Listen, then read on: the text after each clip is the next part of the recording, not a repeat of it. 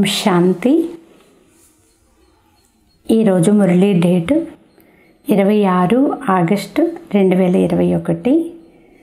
బాబా చెప్తున్నారు మధురమైన పిల్లలారా మేము మా యోగ బలం ద్వారానే ఈ భారతదేశాన్ని స్వర్గంగా తయారు చేస్తామని అక్కడ ఒకే ధర్మము ఒకే రాజ్యము ఉంటాయి అని మీరు గ్యారంటీ ఇస్తారు.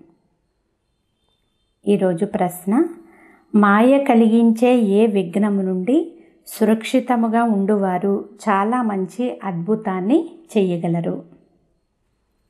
సమాధానము మాయ కలిగించే అన్నింటికంటే పెద్ద విఘ్నము దేహాభిమానంలోనికి తీసుకుని వచ్చి ఒకరి నామరూపాలలో మరొకరు చిక్కుకునేటట్లు చేయడము. ఏ పిల్లలైతే ఈ విఘ్నము నుండి సురక్షితముగా ఉంటారో మాయ చేసే మోసము నుండి రక్షింపబడి ఉంటారో. వారు చాలా మంచి అద్భుతం చేసి చూపిస్తారు. వారి బుద్ధిలో సర్వీసు గురించి కొత్త కొత్త ఆలోచనలు నడుస్తూ ఉంటాయి. దేహీ అభిమానులుగా అనగా ఆత్మాభిమానులుగా అయినప్పుడే సర్వీసులో వృద్ధి జరుగుతుంది అని బాబా అంటున్నారు. ఓం శాంతి. ఆత్మిక పిల్లలకు తండ్రి శ్రీమతాన్ని ఇచ్చేందుకు వచ్చారు. కొద్ది సమయంలోనే డ్రామా ప్లాన్ అనుసారముగా కార్యమంతా జరగవలసి ఉంటుంది అని పిల్లలకు తెలుసు. మనము రావణపురాన్ని విష్ణుపురంగా తయారు చేస్తాము.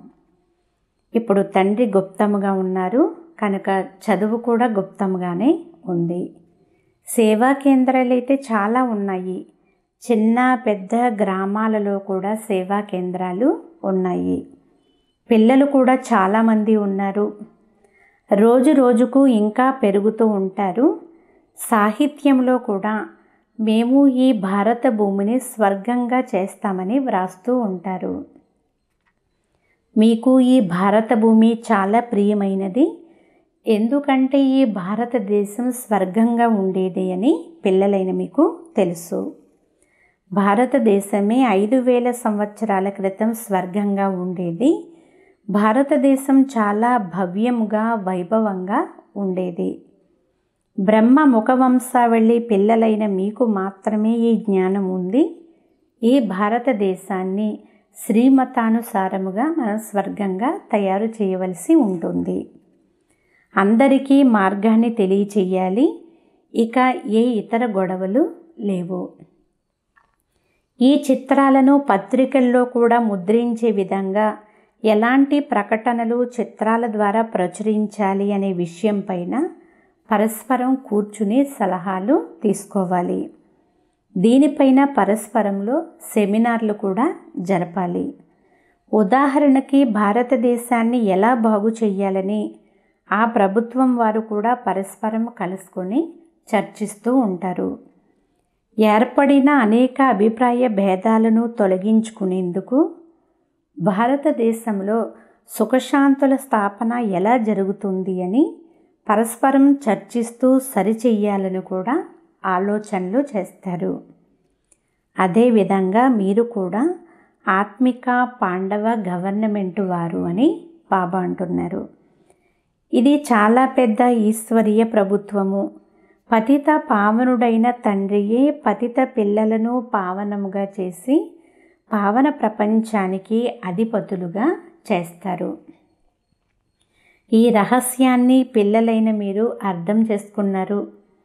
ముఖ్యమైనది భారతదేశంలోని ఆది సనాతన దేవీ దేవత ధర్మము. ఇది రుద్ర జ్ఞాన యజ్ఞము రుద్రుడు అని శివ బాబాను అంటారు. ఇప్పుడు తండ్రి వచ్చి మిమ్మల్ని మేలుకొల్పారు మరియు మీరు ఇతరులను మేల్కొలపాలి. మీరు డ్రామా ప్లాన్ అనుసారం మేలుకొలుపుతూ ఉంటారు.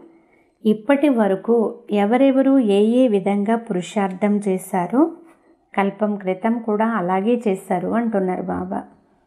మీది ఆత్మిక యుద్ధము. ఒక్కోసారి మాయ జోరు ఉంటుంది ఒక్కొక్కసారి ఈశ్వరుని జోరు ఉంటుంది. అప్పుడప్పుడు చాలా తీవ్రగతిలో సర్వీసు జరుగుతుంది. అప్పుడప్పుడు కొందరు పిల్లలకు మాయా విఘ్నాలు ఏర్పడతాయి. ఒక్కసారిగా మాయ మూర్ఛితులుగా చేసేస్తుంది. ఇది యుద్ధ మైదానం కదా. మాయ రాముని సంతానాన్ని మూర్ఛితులుగా చేసేస్తుంది. లవకుశల కథ కూడా ఉంది కదా అంటున్నారు బాబా. రామునికి ఇద్దరు కుమారులను చూపించారు. ఇక్కడైతే తండ్రికి లెక్కలేనంత మంది పిల్లలు ఉన్నారు. ఇప్పుడు మనుష్యులందరూ కుంభకర్ణుని యొక్క నిద్రలో నిద్రిస్తూ ఉన్నారు.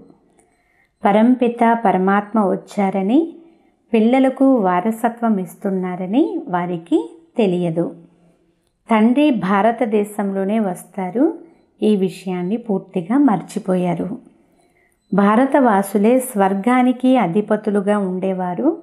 ఇందులో ఏమాత్రం సందేహం లేదు. పరంపిత పరమాత్మని జన్మ కూడా ఇక్కడే జరుగుతుంది. అందుకే శివ జయంతిని భారతదేశంలోనే ఆచరిస్తారు. అనగా వారు వచ్చి ఏదో ఒకటి చేసి ఉంటారు కదా.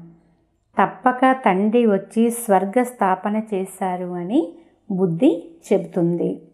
ప్రేరణ ద్వారా స్థాపన జరగదు అంటున్నారు బాబా. ఇక్కడ పిల్లలైన మీకు రాజయోగం నేర్పించబడుతుంది స్మృతి యాత్ర నేర్పించబడుతుంది ప్రేరణలో ఏ విధమైన శబ్దము రాదు. శంకరుడు ప్రేరణ ద్వారా వినాశనం చేస్తారు అని భావిస్తారు. కానీ ఇందులో ప్రేరణ యొక్క విషయమే లేదు అని బాబా అంటున్నారు. డ్రామాలో వారి పాత్రయే మిసైల్స్ తయారు చేయడమని మీరు అర్థం చేసుకున్నారు. వారు వినాశనానికి నిమిత్తమై ఉన్నారు. ప్రేరణ అనేది శాస్త్రాలలోని పదము. ఇక్కడ ప్రేరణ యొక్క మాట ఏమీ లేదు. శంకరుడు సూక్ష్మవతనంలో ఉన్నారు. డ్రామానుసారముగా వినాశనం జరగాల్సిందే. మహాభారత యుద్ధంలో ఈ మిసైల్స్ మొదలైనవి ఉపయోగించారు అని మహిమ చేయబడింది. ఏది గతించిపోయిందో అది మళ్ళీ పునరావృతం అవుతుంది అంటున్నారు బాబా. మేము యోగ బలం ద్వారా స్వర్గ స్థాపన చేస్తామని అక్కడ ఒకే ధర్మం ఉంటుందని మీరు గ్యారంటీ ఇస్తారు. అప్పుడు మిగిలిన ధర్మాలన్నీ ఎక్కడ ఉంటాయి? తప్పకుండా వినాశనం అయిపోతాయి. ఇవన్నీ అర్థం చేసుకోవాల్సిన విషయాలు బ్రహ్మ ద్వారా స్థాపన విష్ణు ద్వారా పాలన అనే గాయనం చేయబడింది. ఇంతవరకు సరిగ్గానే ఉంది కానీ శంకరుణ్ణి శివుణ్ణి జతలో కలిపి వేయడం తప్పు. శివశంకర అని అంటారు. ఎందుకంటే శంకరుడు ఏ కర్తవ్యాన్ని చేయకపోవడం వలన అతన్ని శివుడితో కలిపేశారు. శివ్ బాబా అని అంటారు. నేను చాలా కార్యాలు చేయవలసి పడుతుంది. అందరినీ పావనముగా తయారు చేయవలసి ఉంటుంది అని బాబా అంటున్నారు.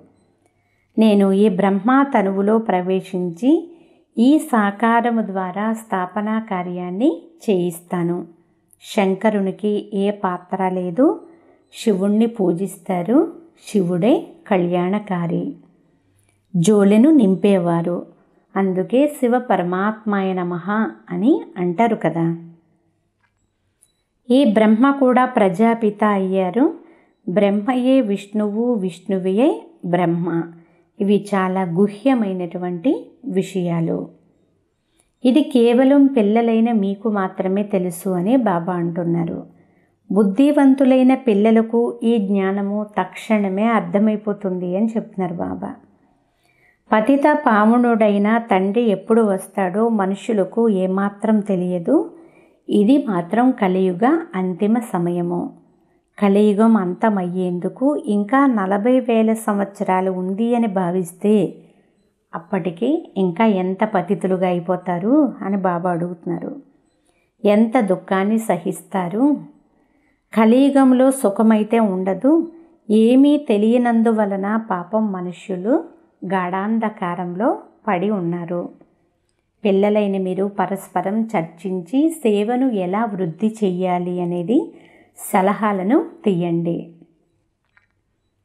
తండ్రి యుక్తులు తెలియచేస్తూ ఉంటారు. తరువాత పిల్లలు పరస్పరం కలుసుకుని చర్చించుకోవాలి. చిత్రాలపైన బాగా అర్థం చేయించాలి. డ్రామా ప్లాన్ అనుసారంగా చిత్రాలు కూడా తయారవుతూ ఉన్నాయి. ఏదైతే సమయం గడుస్తూ ఉంటుందో అదే విధంగా డ్రామా నడుస్తూ ఉంది అని పిల్లలైన మీకు తెలుసు. పిల్లల స్థితులు హెచ్చు తగ్గులు అవుతూ ఉంటాయి. తండ్రి కూడా సాక్షిగా చూస్తూ ఉంటారు. అప్పుడప్పుడు పిల్లలపైన గ్రహచారం కూర్చున్నట్లయితే దానిని తొలగించేందుకు ప్రయత్నం చేస్తారు. అది తొలగిపోయేందుకు తండ్రిని స్మృతి చెయ్యమని క్షణక్షణం చెప్తూనే ఉంటారు. కానీ పిల్లలు దేహాభిమానంలోనికి వచ్చి దెబ్బలు తింటూ ఉంటారు. ఇందులో దేహీ అభిమానులుగా అవ్వవలసి ఉంటుంది. కానీ పిల్లల్లో చాలా దేహాభిమానం ఉంది అంటున్నారు బాబా. మీరు దేహీ అభిమానులుగా అయితే తండ్రి స్మృతి ఉంటుంది సేవ కూడా వృద్ధి చెందుతుంది. ఉన్నతమైన పదవిని పొందేవారు సర్వీసులో సదా నిమగ్నమై ఉంటారు. కానీ అదృష్టంలో లేకపోతే పురుషార్థం కూడా చెయ్యరు. బాబా మాకు ధారణ జరగడం లేదు అని బుద్ధిలో కూర్చోవడం లేదు అని వారు స్వయంగా చెప్తారు. ధారణ అవ్వడం లేదు అంటే సంతోషం కూడా ఉండదు. ధారణ అయ్యే వారికే సంతోషం కూడా ఉంటుంది. బాబా వచ్చారని వారు భావిస్తారు. తండ్రి చెప్తున్నారు పిల్లలు మీరు మంచి రీతిగా అర్థం చేసుకుని ఇతరులకు కూడా అర్థం చేయించండి. కొందరు సేవలో నిమగ్నం అవుతారు పురుషార్థం చేస్తూ ఉంటారు. ఏ ఏ సెకండ్ గడుస్తుందో అది డ్రామాలో నిశ్చితమై ఉందని మళ్ళీ అలాగే పునరావృతం అవుతుందని పిల్లలైన మీకు తెలుసు.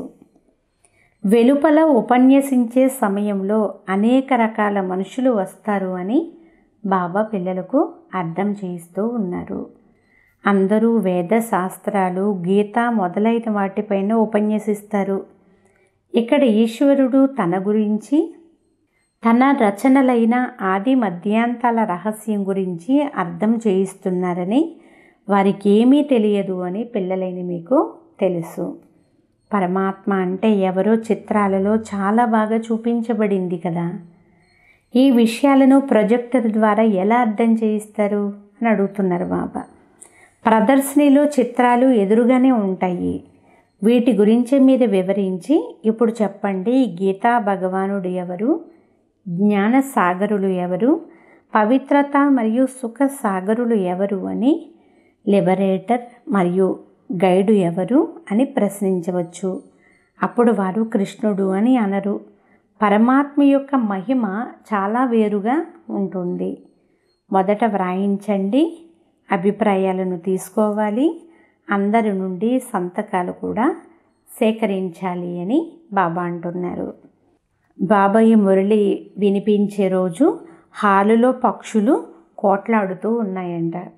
బాబా అంటున్నారు ఇప్పుడు ప్రపంచమంతా కోట్లాటలు యుద్ధాలే ఉన్నాయి అని చెప్తున్నారు.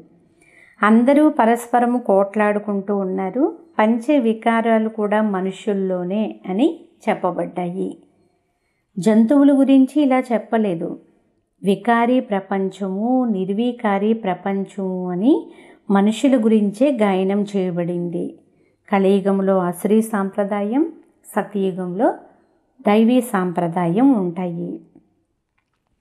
మనుషులు చాలా తమో ప్రధాన బుద్ధి కలవారిగా అయిపోయారు.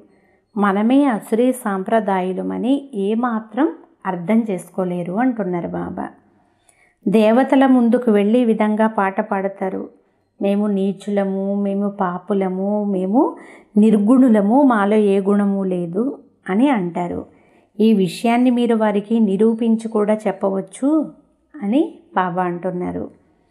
మెట్ల చిత్రంలో ఈ విషయం చాలా స్పష్టంగా ఉంది. ఎక్కే కళ మరియు దిగే కళ ఏ విధంగా జరుగుతాయో చిత్రంలో చూపించడం జరిగింది కదా. భారతవాసీలకు ఈ మెట్ల చిత్రం చాలా ముఖ్యమైనది. ఇది అన్నింటికంటే మంచి చిత్రము అంటున్నారు బాబా. ఎందుకంటే సృష్టి ఆది నుండి అంతిమం వరకు ఎన్ని జన్మలు తీసుకుంటాము ఎలా దిగుతూ వస్తాము ఎలా ఎక్కుతాము అనేది ఈ చిత్రంలో చాలా క్లియర్గా ఉంది. ఈ చిత్రం చూపించి చాలా బాగా అర్థం చేయించగలరు. ఎనభై నాలుగు జన్మలు పూర్తి చేసుకుని మళ్ళీ మొదటి నెంబర్ జన్మ తీసుకోవాలి. తర్వాత మళ్ళీ క్రిందకు దిగే కళ ద్వారా ఉన్నతమయ్యే కళలోనికి వెళ్ళవలసి ఉంటుంది. అందరికీ మార్గాన్ని ఎలా తెలియచేయాలి అని ప్రతి ఒక్కరూ ఆలోచించండి అంటున్నారు బాబా. ఆలోచన నడవకపోతే సర్వీసు ఎలా చేస్తారు? చిత్రాల ద్వారా అర్థం చేయించడం చాలా సహజమవుతుంది. సత్యయుగం తర్వాత మెట్లు దిగవలసిందే. ఇప్పుడు మనం బదిలీ అవుతున్నామని పిల్లలైన మీకు తెలుసు కానీ నేరుగా సత్యయుగానికి వెళ్ళరు. మొదట మనం శాంతి ధామానికి వెళ్ళాలి. మనం పాత్రధారులం కదా పోతే స్వయాన్ని డ్రామాలో పాత్రధారి అని భావించేవారు మీలో కూడా నెంబర్ వారీగా ఉన్నారు అని బాబా అంటున్నారు. మేము పాత్రధారులము అని చెప్పగలిగేవారు ప్రపంచంలో ఎవరూ లేరు. ప్రతి మనిషి ఈ అనంతమైన నాటకంలో నటులై ఉండి కూడా డ్రామాలోని ముఖ్యమైన నటుల గురించి డైరెక్టర్ గురించి డ్రామా యొక్క ఆది మధ్యాంతాల గురించి తెలుసుకోలేదు అని కనుక వారు తెలివిహీనులని మనం వ్రాయవచ్చు. ఇలా వ్రాయడంలో నష్టమేమీ లేదు. ఒక చెవి ద్వారా విని మరొక చెవి ద్వారా వదిలివేయకూడదు అంటున్నారు బాబా. సర్వీసు సర్వీసు సర్వీసు ఇదే తపన ఉండాలి. పిల్లలపై ఒక్కోసారి గ్రహచారం కూడా కూర్చుంటుంది అని గ్రహచారం కూర్చున్నప్పుడు చాలా నష్టం జరుగుతుందని తండ్రికి తెలుసు. ధనవంతులు పేదవారిగా అవుతారు. అలా అంటే మరి ఏదో కారణం ఉంటుంది కదా.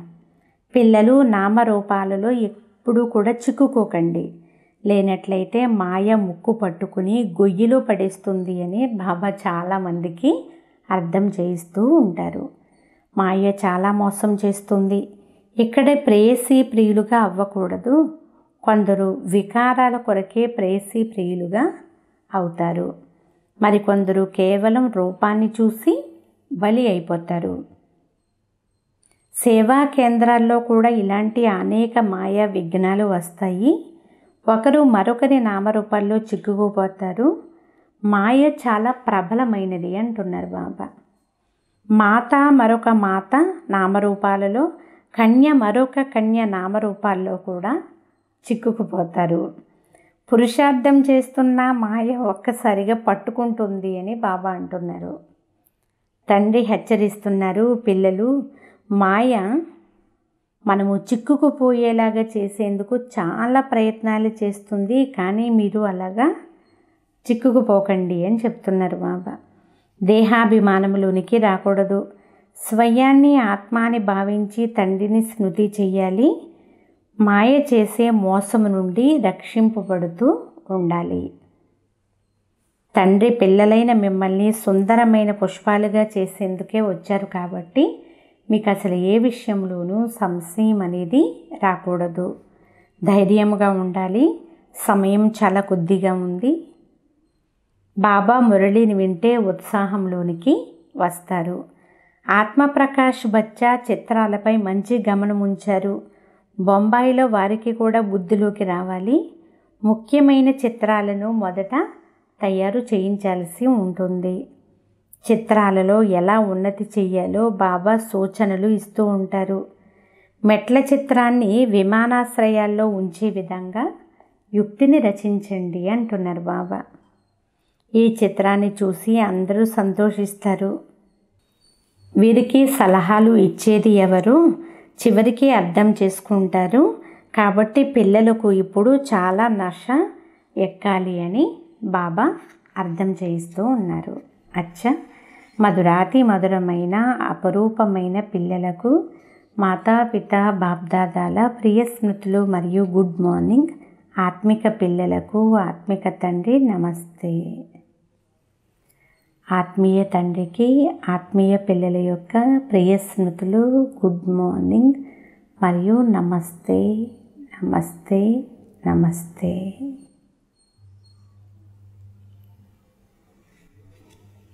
ధారణ కొరకు ముఖ్య సారము ఫస్ట్ పాయింట్ పిల్లలైన మీరు యుద్ధ మైదానంలో ఉన్నారు. మీరు మాయా రావణునితో యుద్ధం చేస్తారు. మాయ ఎన్నో విఘ్నాలు వేస్తుంది కానీ పిల్లలు మాత్రం చాలా హెచ్చరికగా ఉండాలి. రెండో పాయింట్ ప్రతి ఒక్కరూ తమ ఉన్నతి కొరకు ఆలోచించాలి. చిత్రాలపై ఎలా అర్థం చేయించాలో సేవను ఎలా పెంచాలో మనుషులు సహజంగా అర్థం చేసుకునేలాగా చిత్రాలలో ఏం ముద్రించాలో అని ఆలోచిస్తూ ఉంటారు అని బాబా అంటున్నారు. వరదానము. మీ శిక్షా స్వరూపం ద్వారా శిక్షణను ఇచ్చే శిక్షా సంపన్న యోగ్య శిక్షక్ భవ. సారాంశము ఎవరైతే వారి శిక్షా స్వరూపం ద్వారా అంటే ధారణా స్వరూపం ద్వారా శిక్షణను ఇస్తారో వారిని యోగ్య శిక్షకులు అని అంటారు. వారి స్వరూపమే శిక్షా సంపన్నముగా ఉంటుంది. వారు చూడడము నడవడం కూడా ఎవరికైనా శిక్షణ లభిస్తూనే ఉంటుంది. సాకార రూపంలో అడుగడుగున ప్రతి కర్మ శిక్షకుల రూపంలో ప్రాక్టికల్గా చూశారు. దీనినే వేరే మాటల్లో చరిత్ర అని అంటారు. ఎవరికైనా వాణి ద్వారా శిక్షణ ఇవ్వడము అయితే సాధారణమైనటువంటి విషయమే. కానీ అందరూ అనుభవం కోరుకుంటారు. కాబట్టి మీ శ్రేష్ట కర్మలు శ్రేష్ట సంకల్పాల శక్తి ద్వారా అనుభవం చేయించండి అని బాబా అంటున్నారు. స్లోగన్ సంకల్పాల సిద్ధిని ప్రాప్తి చేసుకునేందుకు ఆత్మశక్తితో ఎగురుతూ వెళ్ళండి. అచ్చ ఓం శాంతి.